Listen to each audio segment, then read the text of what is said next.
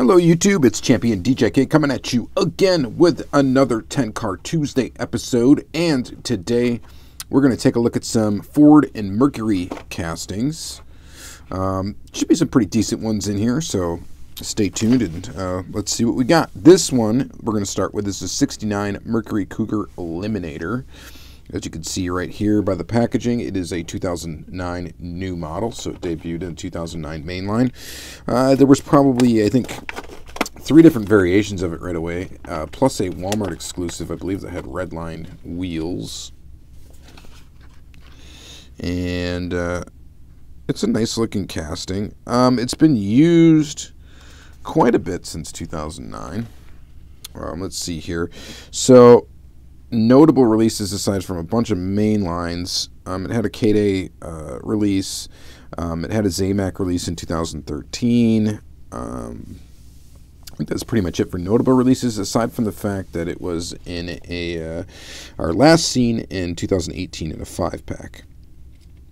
It's a pretty nice mainline casting. I think it looks pretty nice. Nice clean sort of tampo going on on the side here with a stripe eliminator, cougar uh, indicator, and then uh, both indicators are present.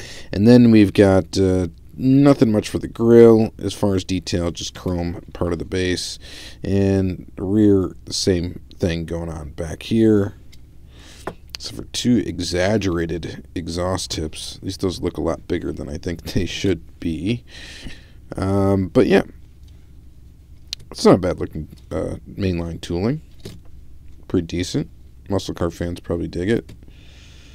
Uh, the spoiler on the back is plastic on this one. Now, this is the 2009 release. I don't know if eventually they got rid of that plastic spoiler and made it part of the body tooling.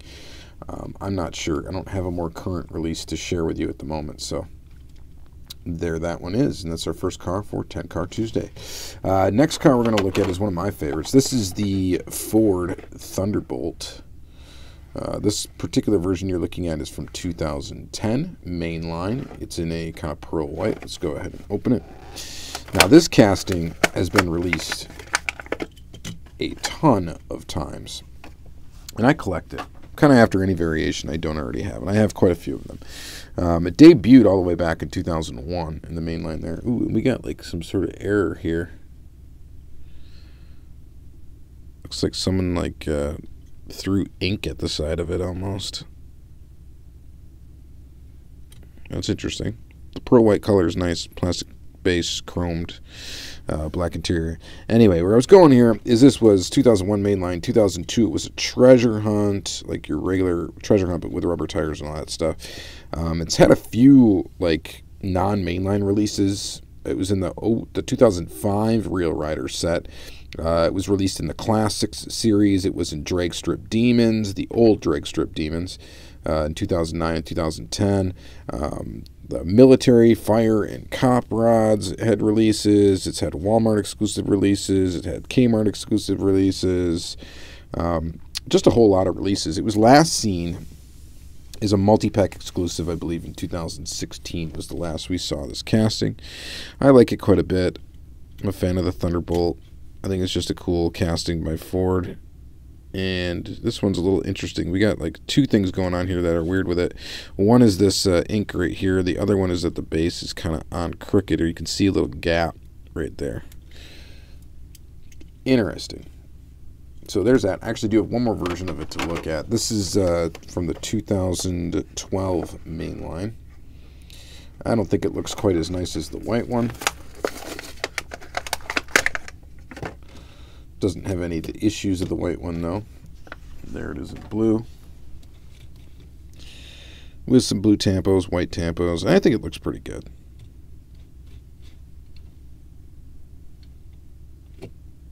Again, chrome base, black interior, smoke tinted window windows. Looks alright. There's definitely better versions out there than these two, but these are two I had yet to open. So we went ahead and opened them on this 10 car Tuesday. So there was one, two, and three. Uh, the next one is a pretty cool casting, too. This is the Mercury Cyclone. Um, this particular version that we're looking at is one of the colorways for 2016. Uh, this casting also had a mainline debut. It was debuted in the 2012 mainline. And it's had some pretty cool releases. So it's been in the Cool Classics in 2013.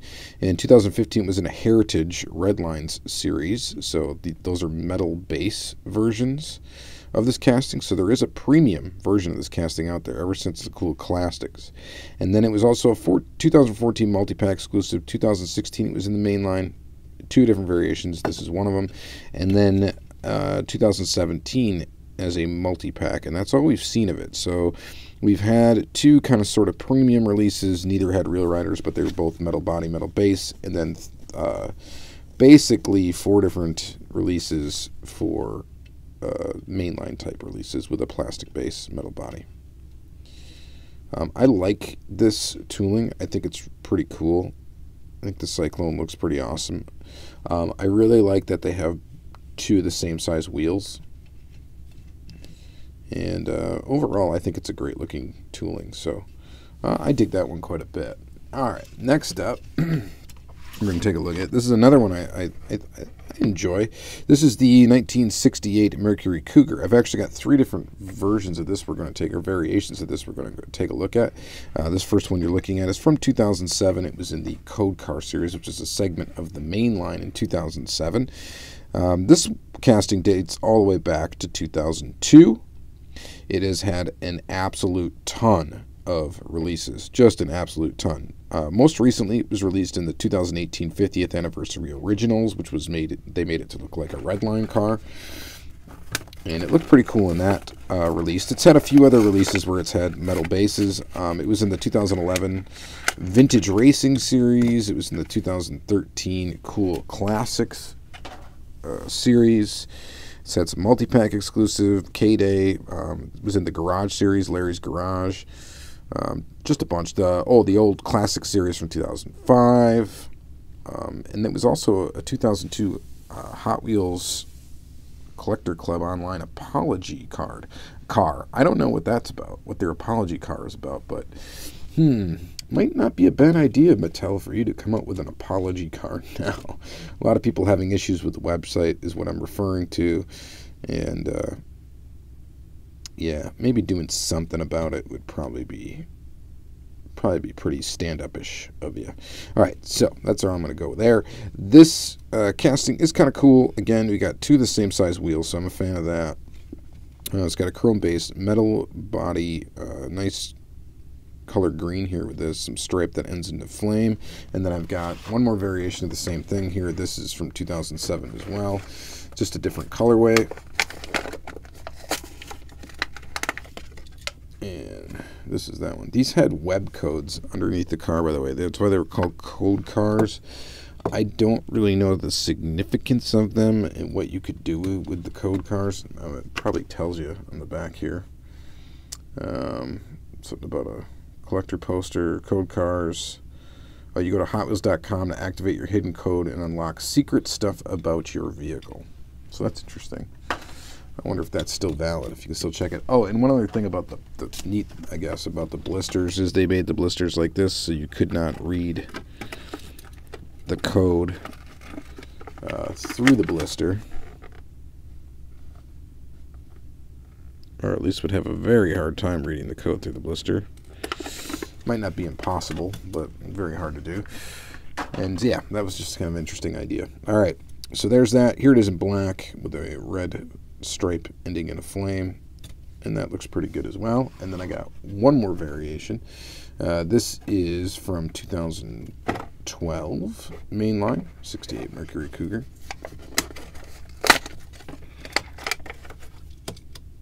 And there is your 2012 version. That looks pretty good. We got a stripe on the top. We got the hood pins. We've got uh, some nice detail on the side. Again, no detail on the front or back of this car, which is a shame. Because to me, that's what really makes the Cougar is kind of having that uh, like blacked out little front end there, and the way the tail lights looked on these cars, I thought was uh, uh, really awesome. So it's too bad that my favorite feature about the Mercury Cougar is not detailed. It's a decent tooling. Looks alright. I mean, it looks me a little, like the body's a little skinny. Or a little flat, maybe. I don't know. But there it is. All right. Next, another one of my favorites. This is the 69 Ford Torino Talladega. And I dig this casting quite a bit. I like how low it sits. Um, it's just got a cool stance to it and a cool look for a mainline Hot Wheels for sure. So let's go ahead and open up this one. Now this debuted in the 2008 mainline. This car that you're looking at right now is from the 2014 mainline.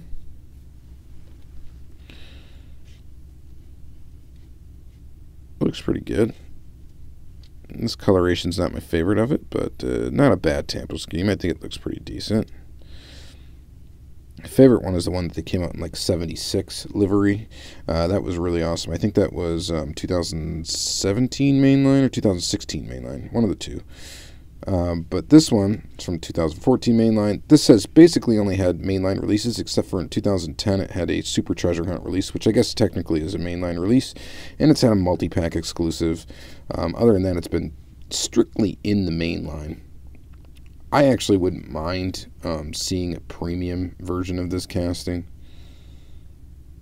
I don't know. I just kind of like it. I like how low it sits to the ground. I like the stance of it. I don't mind that it's a little bit exaggerated. I just think it looks kind of sleek and kind of cool. So that's why I dig it. Chrome base in this one. Blue interior. Eh, I dig it. And then we got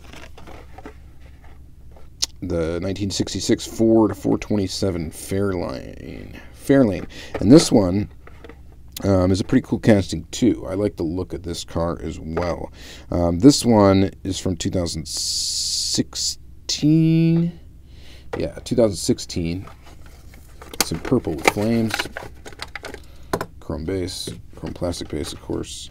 Five spoke wheels. I like the stance of this car. I like the way it looks.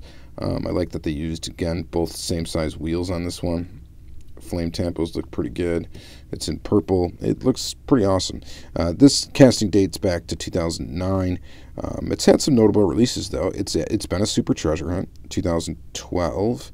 Um, it was in the Hot Wheels Garage series in 2011. Um, let's see what else has it done. Mm, that's about it. But I believe there is metal a metal base version of this in the Hot Wheels Garage series. I think. Last we've seen this was in the 2019, uh, this year, in a five pack. Um, I like this casting. I think it looks good. I just like the look of this car.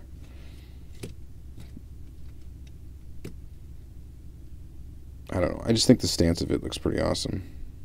And then we've got this one. So this one's also from 2016. This is the last car we're going to look at today and it is the Kmart K-Day exclusive version of it in orange with flames. And I think it looks quite good in orange. Um, yellow windows, you know, you could do with or without.